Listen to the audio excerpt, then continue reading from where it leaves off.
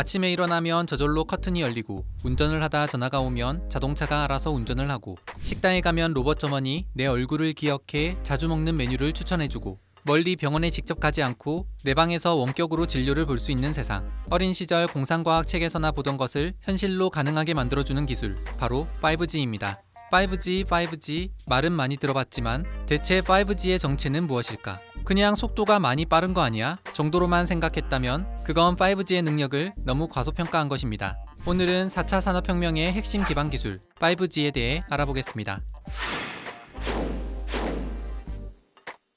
5G란 5세대 이동통신의 약자로 4G 이후 차세대 통신 기술을 말합니다. 그런데 흔히 사람들이 4G나 5G의 G를 컴퓨터의 메모리나 파일 크기를 나타내는 기가바이트로 생각하는 사람들이 있습니다.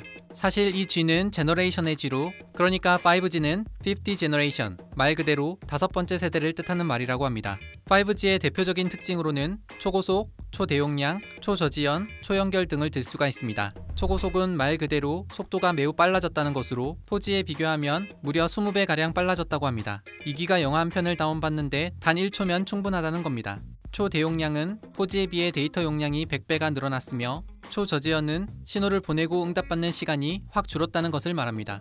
이 지연 시간이 적을수록 반응이나 대처를 빨리빨리 실시간으로 할 수 있기 때문에 특히 자율주행과 의료 분야에서 활용이 가능해지는 겁니다. 초연결은 동시에 접속할 수 있는 기기의 수가 많아지는 것을 의미합니다.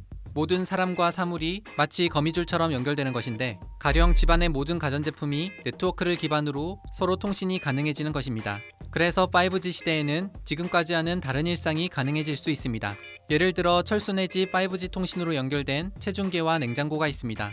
그리고 스마트폰엔 철수가 운동을 얼마나 하고 있는지, 칼로리를 소모하고 있는지 그 데이터가 축적이 되고 있습니다. 철수가 갑자기 살이 찌면 체중계는 그 데이터를 스마트폰과 냉장고로 전달을 하게 됩니다. 그리고 늦은 밤, 야식을 먹기 위해 철수가 냉장고 문을 열게 되면 이제는 엄마 대신 냉장고가 잔소리를 할 수 있는 시대가 가능하다는 겁니다. 이렇게 5G 시대에는 영희의 일상도 달라집니다. 영희는 오늘 소파를 살 계획입니다. 하지만 굳이 힘들게 발품을 팔지 않아도 됩니다. 귀찮게 줄자를 꺼내 길이를 잴 필요도 없고 우리 집에 어울릴까 안 어울릴까 고민할 필요도 없으며 5G 스마트폰만 꺼내들면 되기 때문입니다. 5G 기반 스마트폰의 카메라가 on-device AI를 활용해 방의 크기를 측정한 다음 소파의 사이즈가 맞는지 확인을 해줄 수 있습니다. 마치 우리 집에 이미 그 가구가 있는 것처럼 3차원의 모습을 미리 확인해 볼 수 있게 되는 것입니다. 뿐만 아니라 미국이나 유럽 선진국들이 아무리 무인 자동차를 개발 중이라 해도 이 5G 기술이 없으면 완성을 시킬 수가 없습니다. 무인 자동차는 센서 기술과 GPS 기술, 그리고 5G 기술이 융합되어야만 성공할 수 있는 것이기 때문입니다. 바로 이런 점들 때문에 5G는 꿈의 통신이라 불리며 새로운 혁명이라는 말까지 나오고 있는 것입니다. 그렇다면 5G 이전의 통신 기술은 어땠을까? 1980년대 초반 처음으로 1세대 이동통신이 등장했습니다. 무전기 같기도 하고 벽돌 같기도 한 엄청나게 큰 휴대폰이 바로 1세대 통신의 휴대폰입니다. 이때는 음성을 그대로 망을 통해서 전송하는 아날로그 통신 방식을 사용했기 때문에 겨우 음성 통화만 할 수 있었습니다. 그러다 1990년 초반 기존의 아날로그 이동통신 기술로는 수요를 감당하지 못하게 되자 2세대 이동통신 기술인 2G가 등장을 하게 됩니다. 2세대부터는 디지털 방식을 도입하며 음성을 디지털 신호로 변환해서 전송하기 시작했습니다. 그래서 이때부터 휴대폰으로 문자 메시지를 주고받을 수 있게 됐습니다.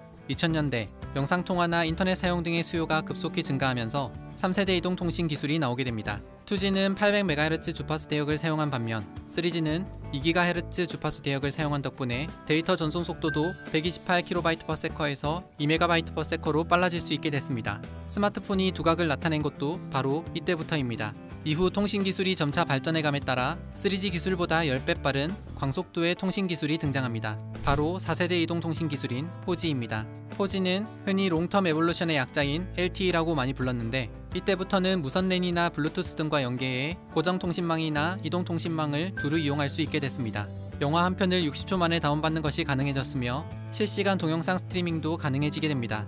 대한민국은 세계 최초로 LTE 전국망을 구축하며 인터넷이 가장 빠른 나라로 LTE 세계 최강국을 자랑하기도 했습니다. 그런데 이런 4G보다 무려 20배가 빠른 통신 기술이 등장했습니다. 이것이 바로 5G인 것입니다.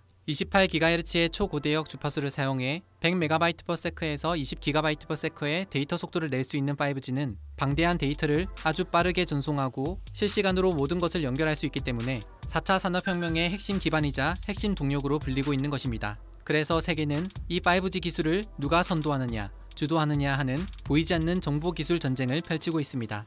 2019년 4월 3일 우리나라는 5G 스마트폰을 출시했으며 이동통신 3사에서 5G 서비스를 시작하며 세계 최초 5G 상용화에 성공하기도 했습니다. 그렇다면 5G 기술은 앞으로 어디에 어떻게 쓰일까? 5G의 상용화로 최대 20GB/s의 초고속 전송이 가능해지면 대용량 데이터 전송을 통해 가상현실이나 증강현실 생방송, 홀로그램 통화 등이 가능해질 것입니다. 그래서 사람들은 야구장이나 축구장에 가지 않고도 TV로 실감나게 경기를 보고 즐길 수 있으며 마치 눈앞에서 얘기하는 것처럼 홀로그램 통화나 회의도 할 수 있을 것입니다. 학교에서 수업을 들을 때도 남극에 대해 배운다고 하면 마치 진짜 남극 탐험을 하는 것 같은 체험도 해볼 수 있을 것입니다. 또 촉각 수준의 동시 반응 속도로 마치 내가 운전하는 것처럼 자동차 자율주행 서비스를 누릴 수 있게 되며 환자가 병원에 직접 가지 않고도 원격 진료를 통해 건강에 대한 관리를 받을 수 있게 될 것입니다. 이렇게 5G 기술은 IT부터 미디어, 의료, 보안, 자동차 등 다양한 산업과 융합하면서 지금까지 없던 새로운 산업도 창출하게 될 것입니다. 그래서 많은 전문가들은 2035년 전 세계 5G와 연계된 생산 유발 효과가 약 3.5조 달러, 2200만 개의 일자리를 창출할 것으로 기대하고 있으며 중국 역시 가장 큰 일자리 시장으로 5G 관련 분야가 될 것이라고 전망하고 있습니다. 우리나라 역시 정부가 국가 차원의 5G 전략을 추진하며 세계 최고의 5G 시장 생태계 조성을 위해 많은 노력을 하고 있습니다. 그래서 2026년까지 총 1161조 원 규모의 신시장을 창출하고 60만 개의 새로운 일자리가 창출될 것으로 기대를 모으고 있습니다. 지금까지 상상했던 모든 것을 현실로 만드는 기술 5G에 대해 알아봤습니다.